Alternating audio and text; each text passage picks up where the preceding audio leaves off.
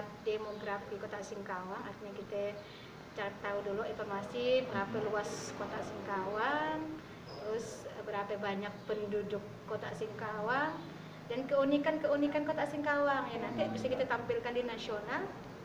Pada sebagai daya tarik supaya orang lain datang ke Singkawang gitu kan. Hmm. saya dengan keunikan bahwa Singkawang adalah kota tertoleran nomor satu se Indonesia terus kota Singkawang dikenal dengan kota seribu kelenteng Singkawang dikenal dengan Hongkongnya Indonesia kan Hmm. nanti kita tampilkan bagaimana Singkawang dengan suku terbesar kan Melayu Cina kan Dayak yang hidup berdampingan tetapi tidak pernah konflik ya kan? jadi kita tampilkan eh, keunikan Singkawang bahwa kita langsung ke fokusnya ke tempat pusat kota Singkawang khususnya mes daerah dan situ kan ada area Car Free Day kan yang sepanjang Jalan Merdeka nanti kita tampilkan tentang lapak ngaji yang dilakukan di, di area Taman Burung Hmm. di persiapan awal dengan kita buat demografi kota Singkawang dulu.